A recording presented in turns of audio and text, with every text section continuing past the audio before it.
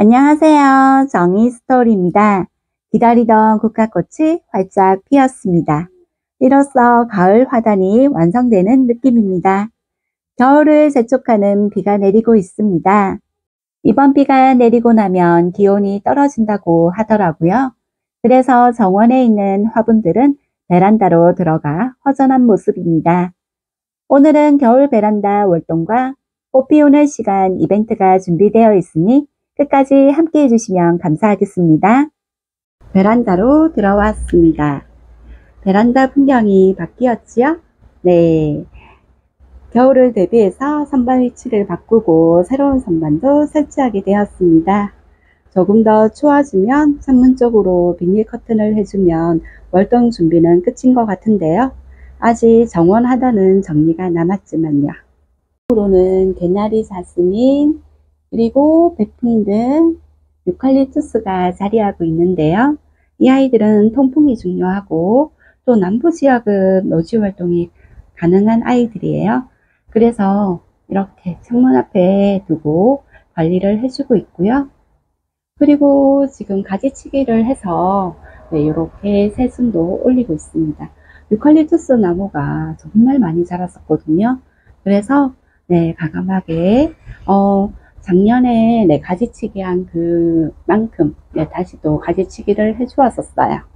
네, 그래서 이렇게 또 더 풍성하게 자라고 있고요.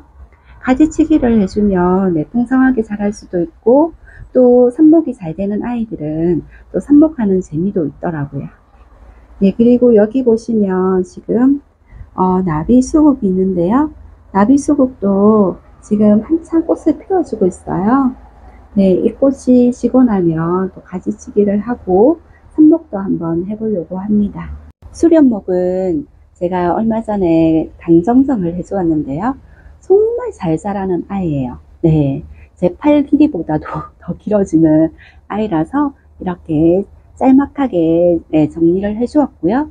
이렇게 해도 봄 되면 다시 한번 또 네, 가지치기를 해, 해주면 이제 가을에 이쁘게 꽃을 피워준답니다. 네, 그렇게 해서 관리를 해주고 있는 아이입니다. 이 바이올렛인데요. 이 아이는 어제 제가 거실로 옮겼다가 꽃이 너무 이뻐서 네 한번 보여드리고 싶은 마음에 데리고 나왔습니다. 네 너무 이쁘죠? 네 잎꽂이도 잘 되고 어, 실내에서 키우기 좋은 아이인 것 같아요. 파란 꽃이 예쁜 American Blue인데요. 이 아이 같은 경우는 제가 한두 달 전에 가지치기를 해주었어요.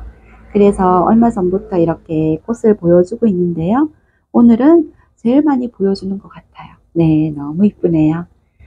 어, American Blue 같은 경우는 제가 키워보니까 추위에 정말 약한 아이더라고요.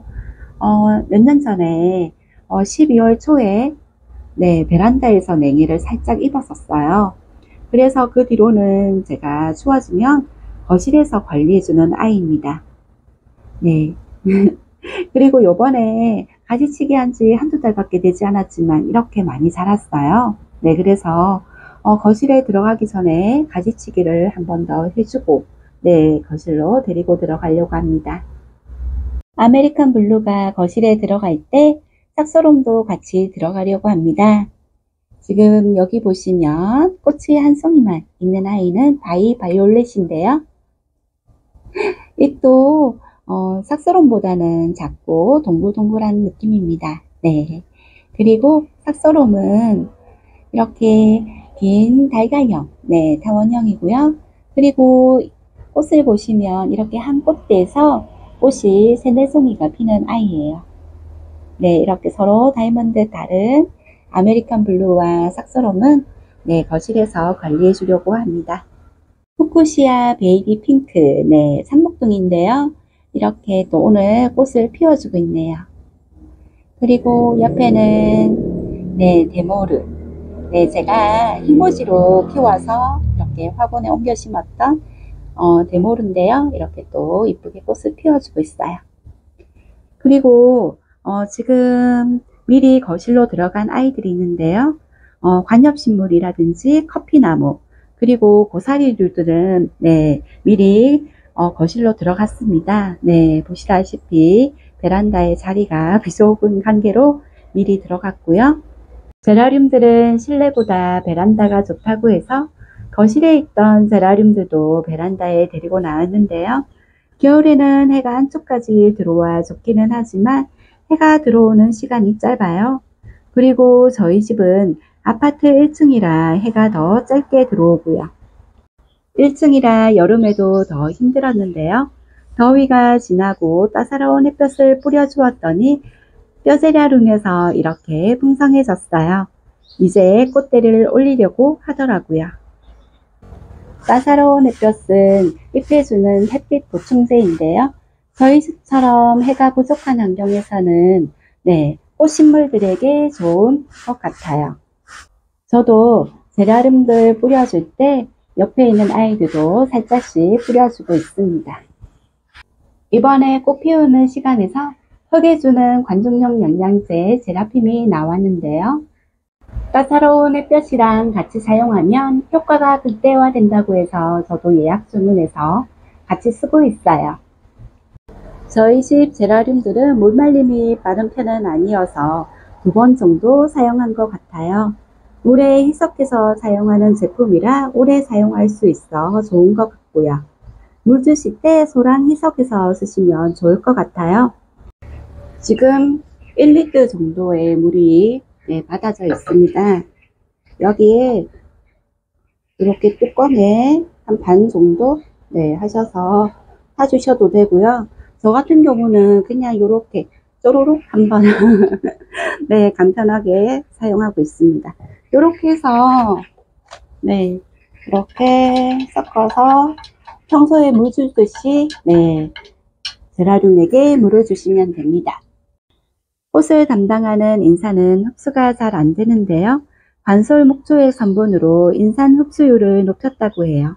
그래서 미세 잔뿌리 발달과 미생물 활성화를 시켜 건강한 꽃을 피운다고 해요. 그리고 뿌리파리 등 해축, 모름병 등 병해, 네, 병충 기피 효과에 좋다고 합니다. 유기농 무농약으로 아이와 반려동물이 있어도 안심하고 사용할 수가 있어서 더 좋은 것 같아요. 그리고 목초액의 산도 교정 효과로 이상적인 흙 산도를 유지시켜줘서 분갈이 시기를 두배 연장시켜주는 효과가 있다고 해요. 이번에 감사하게도 꽃 피우는 시간에서 이벤트를 준비해 주셨는데요. 추첨을 통해 구독자 10분께 제라핌을 선물해 주신다고 합니다. 이벤트 참여 방법은 꽃 피우는 시간 채널을 구독해 주시고 제 영상에 댓글을 남겨주시면 됩니다. 댓글에 꽃 피우는 시간, 휴대폰 뒷번호, 내 자리, 네, 꽃 피우는 시간 1, 2, 3, 4 이렇게 적어주시면 되고요. 이벤트 기간은 11월 10일 금요일까지이며 추첨 결과는 11월 13일 월요일에 발표하겠습니다. 많은 참여 부탁드립니다. 할인 행사도 준비되어 있으니 많은 관심 부탁드립니다. 이벤트를 할 수 있게 도와주신 꽃 피우는 시간 관계자님들 진심으로 감사드립니다. 오늘 준비된 내용은 여기까지입니다. 끝까지 시청해 주셔서 감사합니다. 사랑합니다.